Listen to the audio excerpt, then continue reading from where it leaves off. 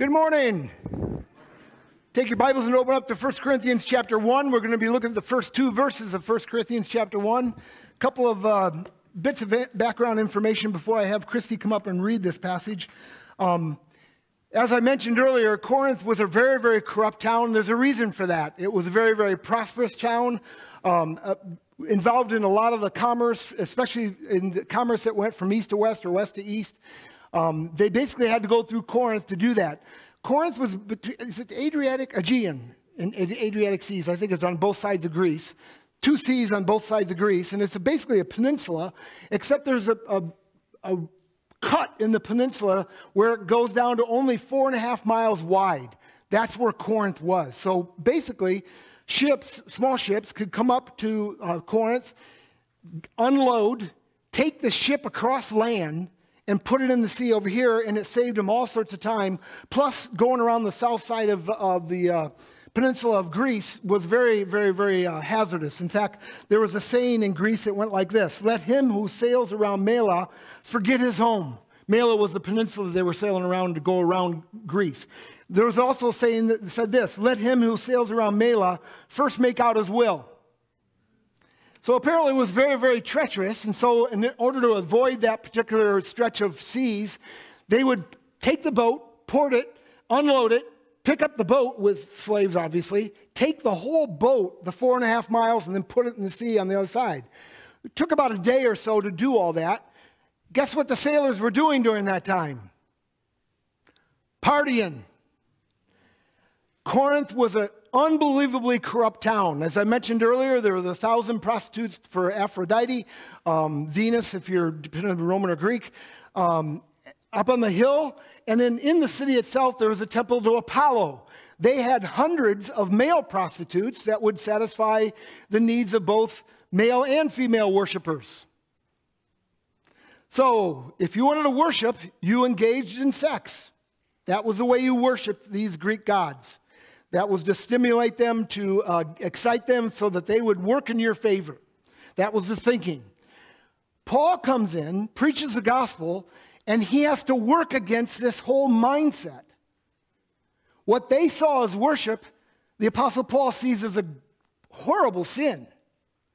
And so that's one of the major things that he has to work against is this whole idea of uh, involved in those kind of immoral, immoral uh, activities far from worship as far as the Judeo Christian perspective is concerned, but Paul has to fight against that. There's also um, all sorts of other things going on um, with the Corinthian people. In fact, they were so corrupt that we would call a person a scumbag or a dirtbag or something like that if they're really immoral. They called them Corinthians. If we might say somebody that was from the hills we'd say well, they're a hillbilly, you know, meaning they're kind of backwards in the way they do things if somebody called you a Corinthian, that was the lowest thing they could call you. Here's the kicker whenever a Corinthian showed up on the Greek theater stage, they were always drunk. That was the perception the world had of Corinth. That's what Paul's fighting for in establishing a church. And the fact that he calls them saints is nothing but astounding. Nothing but astounding. We're going to talk, in fact, I think this is my first point. Yeah, uh, where did my first point go? There it is. We're talking about some of the problems that they were wrestling with. Um, Corinth also had a couple other things that made it very prosperous and, and made it very, very uh, attractive to people, especially as far as entertainment was concerned. The Isthmian Games took place in Corinth. That was second only to the Olympic Games. I don't, know, I don't know if you know that or not, but in 1896, they revived the Olympic Games. You, you know that, right? The first Olympic Games was in 1896 in Athens, appropriately um, because always before, um, I think every two years or every four years, the Olympic Games would be uh, in Greece, on, off of Mount Olympus and they would bring the best athletes in the area to compete, just like our Olympic Games are about. The Isthmian Games were kind of like the Pan American Games, if you're familiar with track and field. I'm seeing nobody shaking their head, so that was a bad illustration. Um, second to the Olympics. So they brought in a lot of world class athletes and a lot of hundreds of thousands of people to watch these games, which included boxing, included uh, uh, track and field, uh, weight toss, all those kind of things. And if you read 1 Corinthians carefully, Paul brings up those things in, in his book because it would have been very, very uh, intimate for them. Also, Paul was a tent maker. And during the Isthmian Games, people needed tents. The vendors needed tents, people needed tents. He sold a lot of tents during the Isthmian Games, almost for sure. And he would have been there during the 51 uh, Isthmian Games, um, 051, not 1951. Make sure we're in the same millennium. Um, he would have sold a lot of tents. And I don't know how much you know about the writings of the Apostle Paul, but he makes a big deal about being self sufficient, not asking anybody for money to support his ministry. And the Isthmian Games would have, have allowed him that opportunity to, to, be able to do that. Um, I think that's pretty much, yeah, that's pretty much all I wanted to say. Um, Christy, come up and read the first two verses of 1 Corinthians chapter 1 as we begin our journey through the book of 1 Corinthians.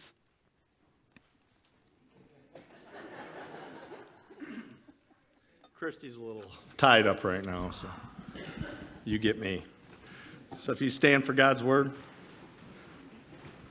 1 Corinthians 1 1 through 3. Paul called to be an apostle of Christ Jesus by the will of God, and our brother Sosthenes, to the church of God in Corinth, to those sanctified in Christ Jesus and called to be holy, together with all those everywhere who called on the name of our Lord Jesus Christ, their Lord and ours. Grace and peace to you from God our Father and the Lord Jesus Christ. This is God's word. You may be seated. If you want to pull out your sermon outline, thanks, Mike, and that wasn't a step down. Did a great job. Pull out sermon outline, we'll be going through that. The word for the day is saint. Even though they're uh, morally very, very, very, very long ways to go, we're going to look at uh, how far they've got to go. Um, the Apostle Paul still calls them saints. So the word for the day is saint. Point number one. What can we learn about the gospel from Corinthians? I believe even though the Corinthians are great sinners, Paul still calls them saints, the temple of God and the body of Christ, because they are in Christ. I don't know about you, but to call um, anybody the temple of God is astounding. What did the temple of God represent in the first century? the presence of God. It's where you went to meet God. The Apostle Paul calls the believers in, the, in Corinth the temple of God. How are we doing?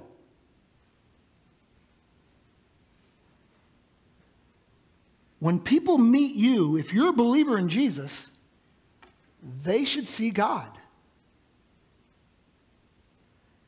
And Paul calls them the temple of God. Listen, this was a messed up people. If you read carefully 1 Corinthians, they're, they're dividing themselves over who's the greatest preacher that's preached them. And, and listen, a lot of great pe- preachers have come to Corinth. Almost for sure, Peter, on his way to Rome, would have come through Corinth. Uh, we know Apollos was there. Apollos was an absolutely eloquent speech, speaker. The Apostle Paul's there. Um, anybody that's anybody was going to make their way to Corinth because it's a, such an influential city. And they've divided themselves over, well, I follow Paul. No, I follow Apollos. He's a lot more polished. Oh, no, I follow Peter. Well, I follow Jesus. I'm really spiritual. I follow Jesus. And Paul goes, You're all idiots. We should be united in this. We should be all following Jesus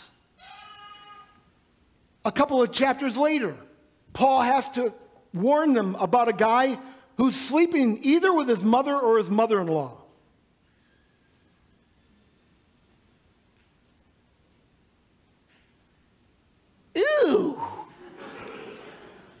What in the world?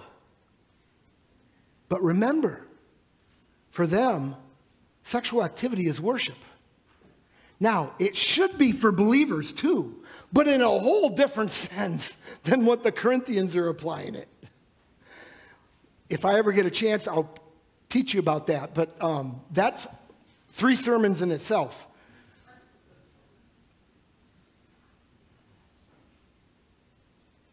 I can't even fathom doing that. I can't. A couple, actually, one chapter later, he says, You shouldn't be going up the hill to worship with Aphrodite and the prostitutes. Don't you know that anybody you have sex with, you become one flesh with them? You can't become one flesh with the devil. You can't be doing this.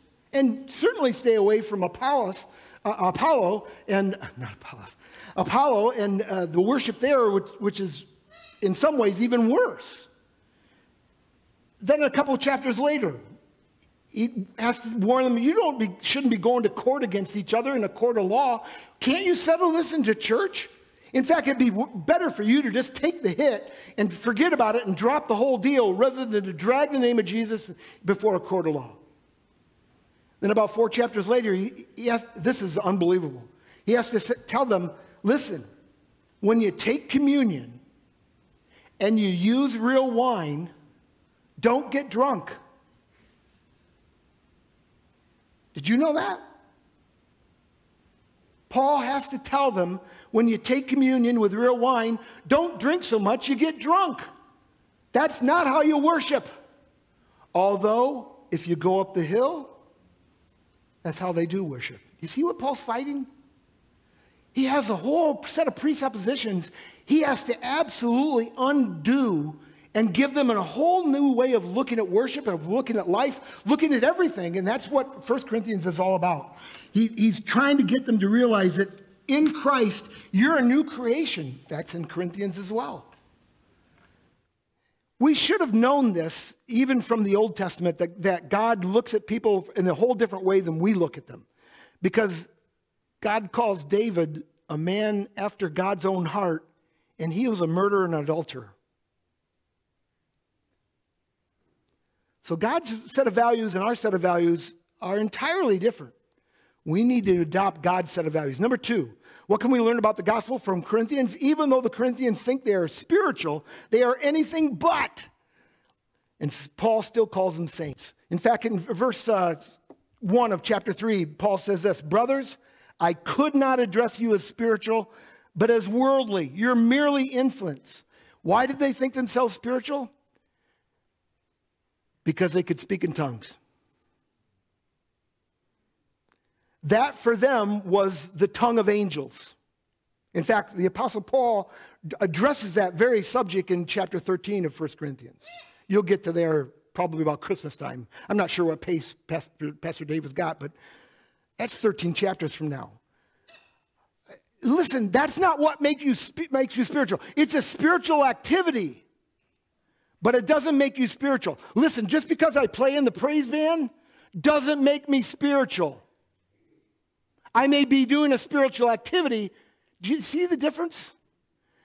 Nobody's shaking their, one person shaking their head. Listen, folks, just because you pray doesn't make you spiritual. It's what's going on here.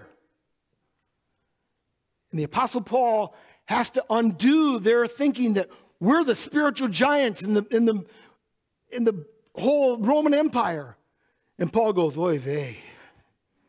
You guys got a long ways. In fact, if any church was really had their act together, it would have been Ephesus, just around the corner. Actually, just across the sea. Wow, it's really close. I just put that in my head. It's just right across the sea. They, they pretty much had their, their act together. Why do you think that Paul has to spend 16 chapters in, in, in book one and I think uh, 13 to 14 chapters in book two? He has to undo all sorts of problems. How many problems does Ephesus have? Doesn't look like any. They think they're spiritual, but they're not. What is spiritual? What does it mean to be spiritual? Did you know that the Apostle Paul didn't consider himself spiritual when he wrote the book of Romans? How does that make you feel?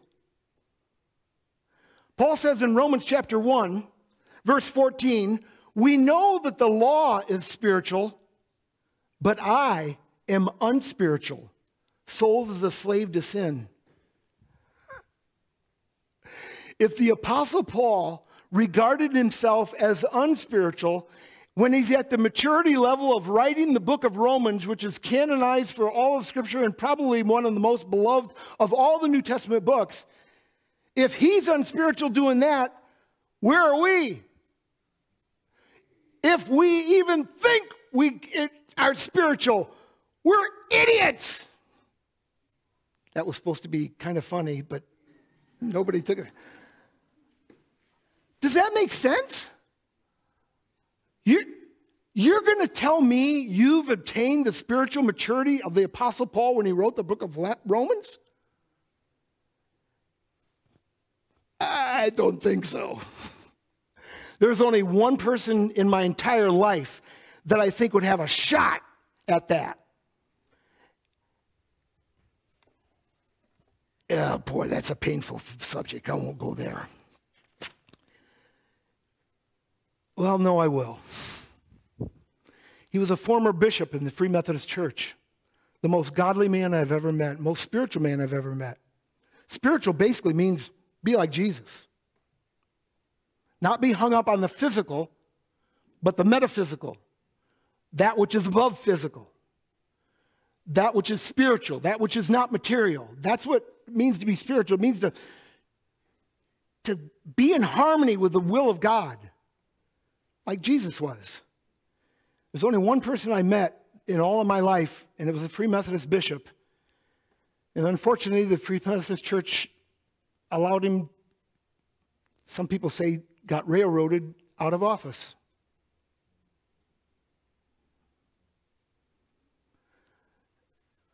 Listen very, very carefully. There is only one qualifications one qualification you should look at when you're looking at anybody in spiritual leadership, and that's ask the question of them are they spiritual? Are they trying to be in harmony with the God of the universe? I don't care how polished they are. I don't care what gender they are. I don't care what ethnicity they are. I don't care what political motivation they may have. Are they living as close as they can to being in harmony with Jesus?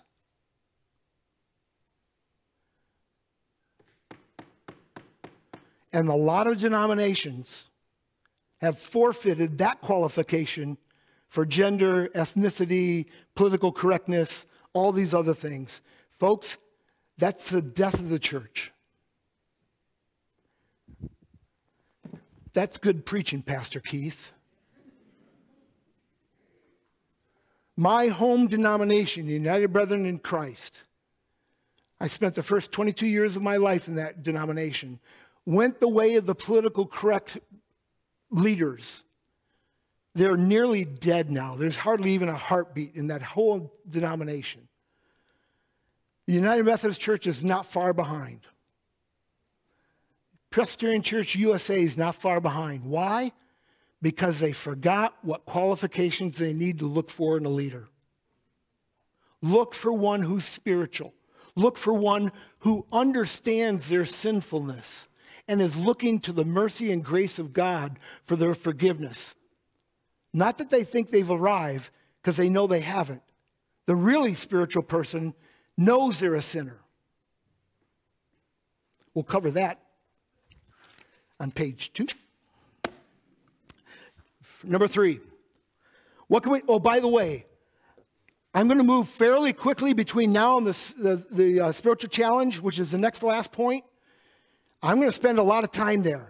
So a lot of you are going to think, yes, we're going to get out of here by noon. It's not true. But I'll keep it moving. Number three, what can we learn about the gospel from Corinthians? Number three, even though the Corinthians resist correction, Paul still calls them saints.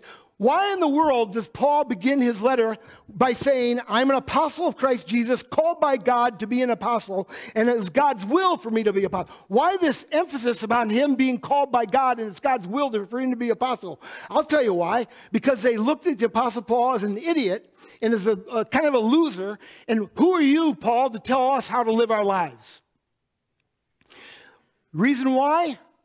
because Paul was not slick and attractive and uh, suave. He was rough. In fact, a lot of people say from the, the, second century that may have had contact with Apostle Paul, he may, may have been a hunchback with bad eyes and a lisp and bald. Probably shouldn't have went there. In other words, he wasn't like, like Apollos, polished, sophisticated, eloquent, intelligent, very, very uh, excellent in the way of his delivery. The Apostle Paul makes that confession several times in his letters, if you read them. I didn't come to be eloquent, I came to show you God's power. And God's power only comes by being in touch with the God of the universe and realizing you can't get there on your own. And so Paul's trying to offer correction to the Corinthians, but they're resisting. That's why Paul starts his letter. Hey, I'm an apostle of Jesus, just like the other 12 guys were.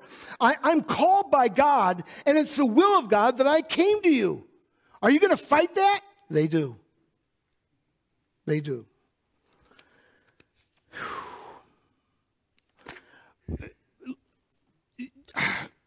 One of the most disturbing things, and I saw this happen. I was, I was actually aware in 1960 when the Nixon Kennedy uh, election took place for President of the United States. I actually watched the debate on TV and saw Kennedy as a candidate just looking youthful and refreshed and, and really, really handsome. And Nixon had, hadn't had t- time to shave in two days. And he was, had bags under his eyes and was wore out because of the, the vigorous schedule he had. And Nixon didn't understand the power of image. And so he went on TV looking ragged and, and run down. Nixon was way ahead in the polls, but Kennedy beat him. Why? Because Kennedy looked good. And folks, I don't know if you know this or not, but the American voter leans towards those candidates that look good. That's stupid. I'm sorry. That's not why you elect somebody to lead you. And Paul didn't look good. In fact, I'm amazed at the number of godly people and godly leaders who, if you looked at them, you'd walk on the other side of the street. You think John the Baptist was an attractive guy? He was a wild man. He looks Duck Dynasty, looked sophisticated. and who did John the Baptist pattern his appearance after? Elijah. And yet we will shut them off because they don't look good. The only thing that should matter is do they speak God's truth? Are they telling me what I need to know in order to make the necessary corrections in my life so I can be more like Jesus? And those presuppositions that we have built in our head hang on for a long time, folks. They are hard to break. I want to read you a story that just I, I can relate to in so many different ways because my head knows what I need to do, but my heart just won't go there. You ever had that struggle? The Apostle Paul did. Just read the book of Romans, chapter 7. He's struggling big time between his heart and his head. This story is from uh, Nazi Germany. It's late summer 1945. The guy's name is, uh, I'm not sure his name, but he's writing to his lover, uh, Greta and he's at an airfield that the Russians have just overrun, and he's trying to hold down the fort because he's relying on a promise that Hitler had made to him. This is what he says in his letter to his lover We are entirely alone, without help from outside. Hitler has left us in the lurch. If the airfield is still in our possession, this letter still may get out. So, this is what the end looks like. Heinz and I will not surrender. Yesterday, after our infantry had retaken a position, I saw four men who had been taken prisoner by the Russians. No, we shall not go into captivity. When Stalingrad has fallen, you'll hear and read it, and then you'll know that I shall not come back. The Fuhrer made a firm promise to bail us out of here. They read it to us and we believed it firmly. Even now, I still believe it because I have to believe in something. If it's not true, what else could I believe in? I would no longer need spring, summer, or anything else that gives pleasure. So leave me my faith, dear Greta. All my life, at least the last eight years of it, I believed in the Fuhrer and his word. It is terrible how they doubt here, and shameful to listen to what they say without being able to reply because they have the facts on their side. Do you hear what he's saying? I know in my head that Hitler has abandoned us and we're on our own and it's not good. But I have to hang on to something, and so I'll hang on to the promises of Adolf Hitler. Folks, that battle goes on endlessly inside every one of us. And it goes on big time in the heart and soul of the Corinthians because their whole idea of worship is now being destroyed by the Apostle Paul. And they're going, What? You mean this activity isn't honoring to God? No. No. We have several things that God has given us to know whether or not we're dealing with reality. He's given us our senses and, and to look at all nature, which our whole culture has abandoned big time. Anyway, He's given us our reason, our heads, which our whole culture has abandoned big time. and He's given us a spirit within us to alert us I was in a conversation this morning. Um, I got here about uh, 7.15 and there's a person that comes real early in the morning to make sure everything is ready for you all. Uh, she comes actually at 5.30 in the morning to get everything ready so it's ready for you to, to worship. And I was talking to her and she says, you know, really strange thing happened to me yesterday. I was crying all day. I didn't know why. I was crying and crying and crying. And then at seven o'clock last night, I got the word that my granddaughter was going to be able to receive a new kidney. And then I realized that's why I was crying. She didn't know the entire day, but her spirit knew. How much are 21st century Americans in touch with their spirit? We don't even think it exists. And yet, it's the most important part of us.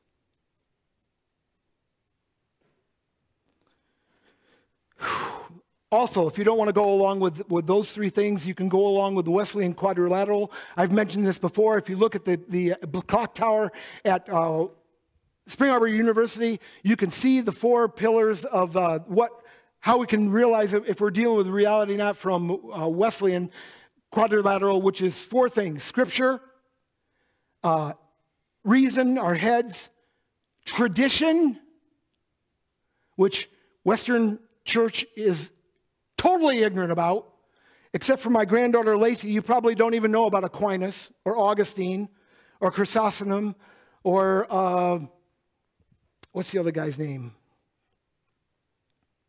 Just went blank. We need to learn about those people, folks. What's one? Augustine, that's the one I was thinking of. Do you know? Thanks, baby, because I wanted to make this point. Do you know we are Protestants today because of a guy that lived in 425 AD by the name of St. Augustine? Well, I wasn't saying at that particular time. It wasn't in Florida either. It's named after him. How much do you know about Augustine? Martin Luther knew a lot. That's what drove him to the Reformation. We need to learn about that. So, scripture is four quadrilateral, the Wesleyan quadrilateral scripture, reason, experience, and tradition. Those are the four things we can look at in order to know if we need correction in our lives or if this person is just being an idiot. Worship point is this worship the God of the universe, whose grace, forgiveness, holiness, mercy, love, and compassion are scandalously wonderful. Even though these Corinthians are seriously lost, Paul tells them this God made him who had no sin to become sin for us, so that in him we might become the righteousness of God. Did you hear that? If we trust in Jesus, who had no sin, he takes all of our sin and puts it upon him, and we now become just as righteous as God himself. Yes! Because, folks, if there's anything I know about myself, I know I'm a desperate sinner. I'm surprised this lady right in here to go, Amen, Pastor Keith. That's my wife. She knows I'm a sinner. And God has given me his righteousness as a gift if I trust in Jesus. Gospel application. The gospel is not about your ethical or moral ability, but about who you trust to save you. The gospel is not about your spiritual IQ, but about faith in Jesus. The gospel is not about how quick you are to repent, but about knowing where your righteousness comes from. The gospel is not about choosing the right pastor, but about choosing the right savior. It's Jesus plus nothing. When I was growing up in the United Brethren Church, I got a lot of legalistic teaching and I became a legalist. And I'll tell you what, that demon dies hard. I have to be very, very careful. In fact, some of my messages, I want to go back and make a, a, a disclaimer about them. I, I gave you the impression that you needed to do this to be saved. That's totally bogus. It's Jesus plus nothing. Not Jesus plus circumcision, not Jesus plus going to church, not Jesus plus tithing, not Jesus plus obedience to the law. It's Jesus plus Nothing. There's an entire book called the book of Galatians that written in order to make that point. It's not your sin that will keep you out of heaven. It's your thinking that you're righteous enough that you no longer need Jesus. And folks, some of you are there.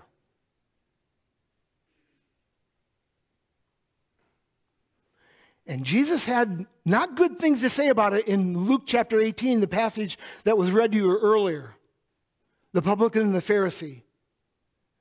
Who went home justified? The one who said, Whoa, I'm glad I'm not like that person. Or the one who said, Lord, have mercy on me, a sinner.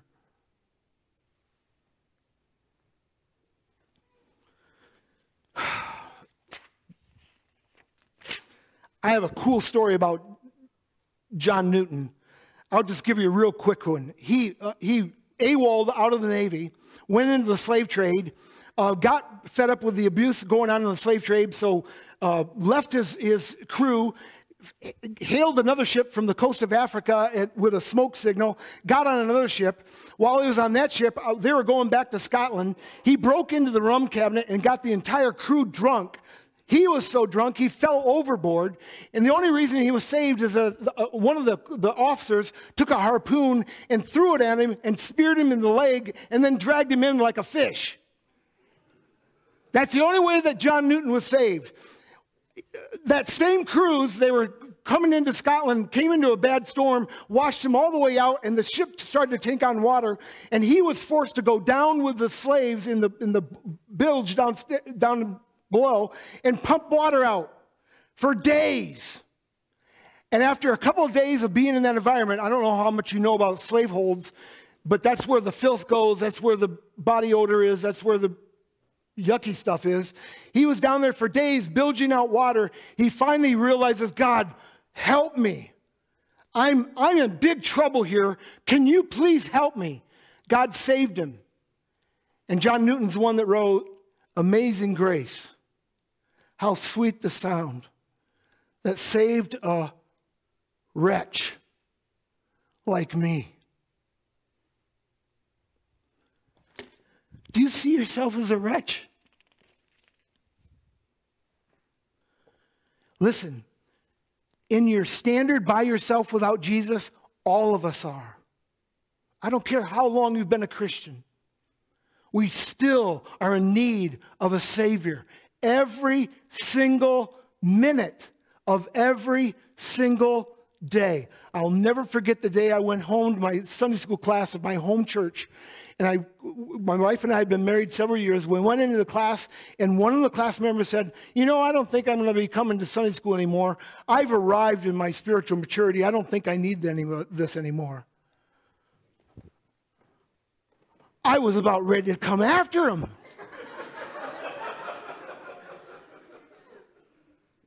Who has the audacity to say that?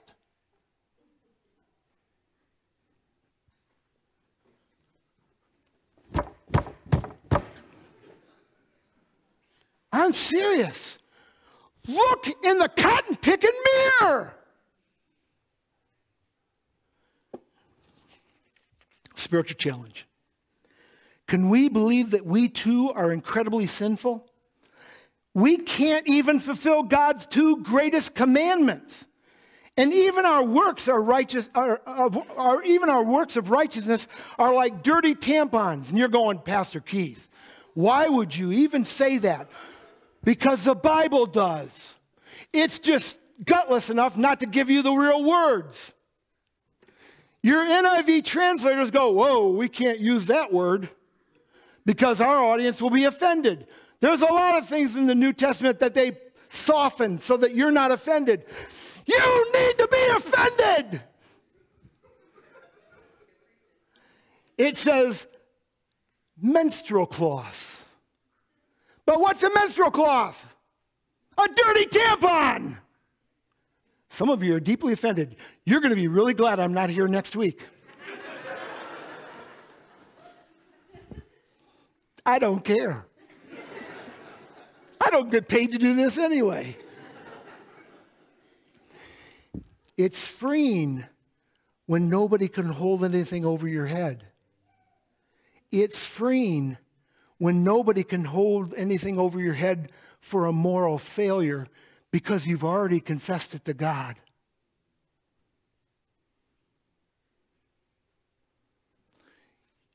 I'm absolutely convinced if you'll listen to the teaching of Jesus and apply it to your heart, you become invincible.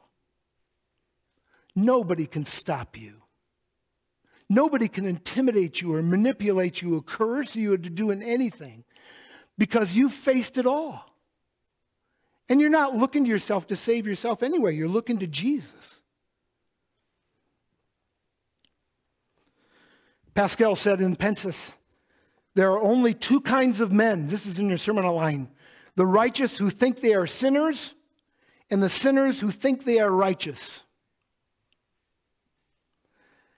And this next one by Bernard Clairvaux, which is, by the way, one of these tradition people from the Middle Ages that I talked to you about. He's about 800 years ago, he said this Our sense of sin is in proportion to our nearness to God.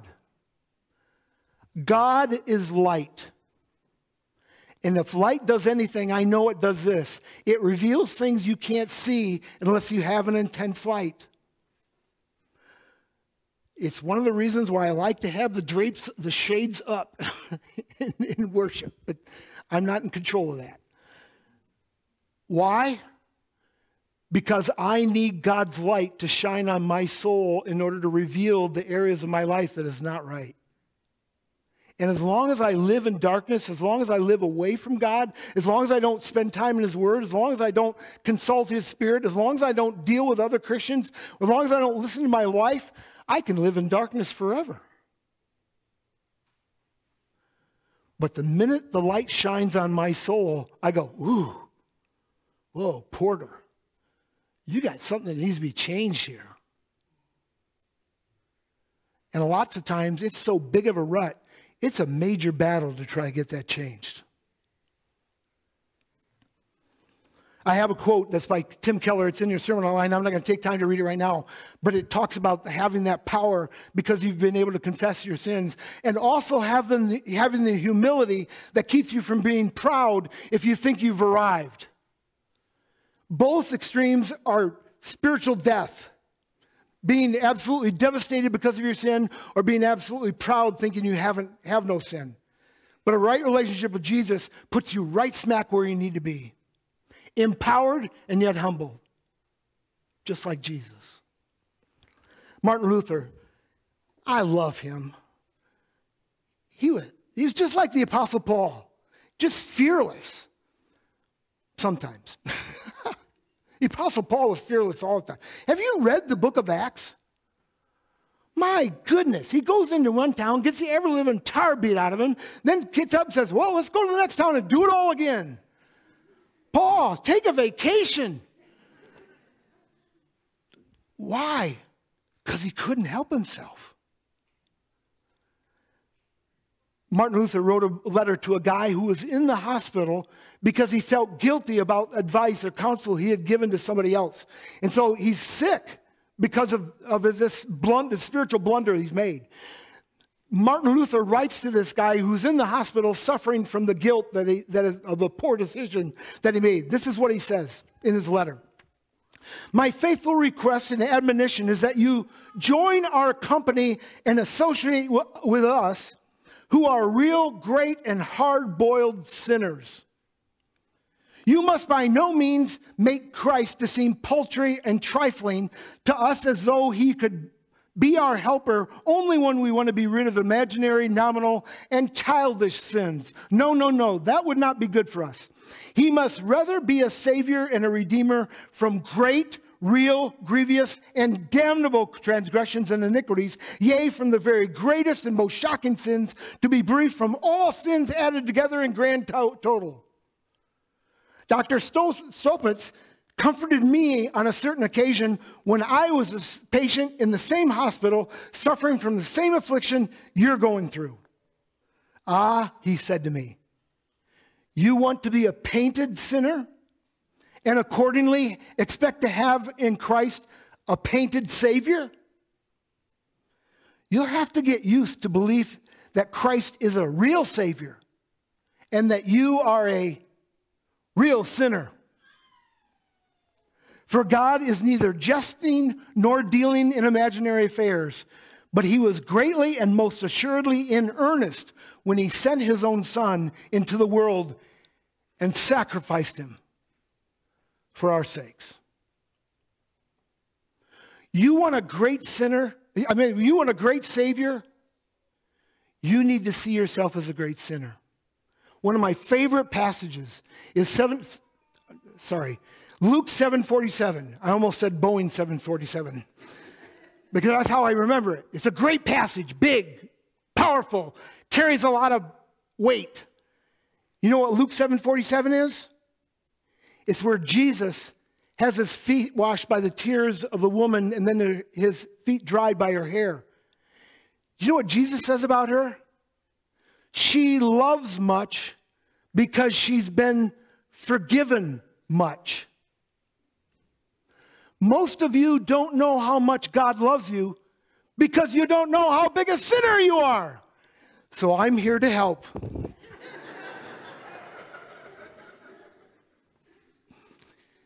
Two greatest commandments, Jesus said love God with all your heart, mind, soul, and strength.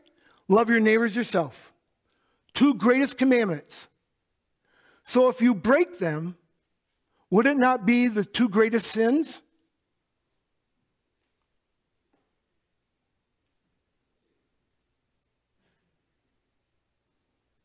How you doing? I know where I'm at. I'm not sure I can look to, any, look to any more than five seconds of my life where I've loved God with all my heart, mind, soul, and strength. And I know there's never been a time where I've loved my neighbor with all the energy, resources, and sacrifice that I'm willing to give to myself, that I'm willing to pour into my neighbor. I've never done that. which makes me, if I understand Jesus right, a bigger sinner than an adulterer and murderer. So if you're having problems with your sin, if you're having problems with understanding yourself as a sinner, I just double dare dog you, double dog dare you to look at those two and say, honestly, looking in the mirror, do I love God with all my heart, with all my soul, with all my strength, with all my mind? And do I love my neighbors or myself? And if you can't say yes to both of them, then you're at exactly the place where Jesus wants you to be. knowing your need for a Savior and coming to Him for salvation, not looking to your own righteousness, but to look to His righteousness to allow you to be saved. Cheer up, folks. You're a whole lot worse than you think you are. But cheer up. God is more gracious and forgiving and kind than you ever dreamed or imagined. And by coming to a knowledge of your great sin, you come also at the same time to a knowledge of a great Savior who loves you dearly and has gone to great lengths to save you. So what? Allow God to empower you. This is the next frame, by the way. It's up there. Allow God to empower and to free you by helping you to recognize what a sinner you are and how gracious God has been to you. Then you'll be free from games, pretense, acting, and pride. You will really enjoy freedom and grace and be empowered to really love. I want to close with an illustration that I think uh, does a good job of illustrating what I'm trying to say over the last 40 minutes or so. There was one time a banker who was a devout Christian. All of his life, for 89 years of his life, he had been devoted to Christ, um, tithed regularly, in fact, tithed plus. Uh, regularly was a Sunday school teacher, always there on, on three days a week for the church, helped out with all sorts of mission projects, gave uh, graciously to people in need, just an outstanding Christian, served on the board, served on the trustees. Um, great community person. This banker was known throughout the community. What an outstanding individual he is. He dies. This is a made up story, by the way. This is not, thus saith the Lord. He dies and finds himself at the pearly gates. And guess who's at the pearly, pearly gates? St. Peter. You, you all know that, right? I, I'm realizing how dated my illustrations are. Just imagine the, per, the pearly gates with Peter. He walks up to Peter and says, Peter, I'm so glad to be here. And Peter says, Wait a minute, wait a minute. Before you can enter, you need to have 2,000 points. And the guy goes, What? Nobody ever told me about 2,000 points before you could get into heaven. This is a made up story. So Peter says, Oh, yeah, I can't let you in unless you have 2,000 points. So the guy starts to recite all that he's done, the, the, gifts that he's given, the tithing, the faithful dedication to the church, support of the pastors, support of missionaries, on and on. He's going straight for 30 minutes, on and on and on. He goes and goes, and, and he says, Peter, how am I doing? Peter goes, Well, that's a half a point. He goes, Oh no, God have mercy. Peter goes, That's it, 2,000 points. Come on in. God have mercy on me, a sinner. The most tragic thing I've ever faced in ministry was one day when a parishioner came to me and said, Do you know guys know Ted Bundy? That name familiar? Back in the 80s, he killed like 28 women, had sex with them, and then killed them. Serial killer. Anyway, James Dobson had an interview with him while he was in prison about a week before he was executed. And a lot of people believe he was saved when I showed that video in our church, this is not this church, a long time ago in the 80s. When I showed the video in church, a parishioner came up to me and said this If Ted Bundy is in heaven, I don't want to be there.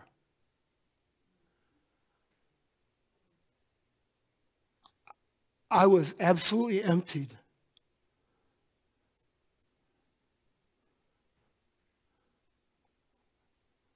Ma'am, when you just said that to me, you're worse than Ted Bundy. Let's pray. God, help us to understand it's only your righteousness that's going to count. Help us to get off of riding on our egos and our pride and our self assurance, thinking that what we do is going to earn our way into heaven. Boy, if anybody thinks that, they have a really small view of righteousness. They really have a small view of you. Because there's nothing we can do. Help us to come to you daily. No, minute by minute. humble, and yet joyful. Knowing that with you there is forgiveness, there is grace, there is peace, there is love, there's life. Help us not to look to our own self and our own righteousness, but to yours. That's why we pray in Jesus' name. Amen.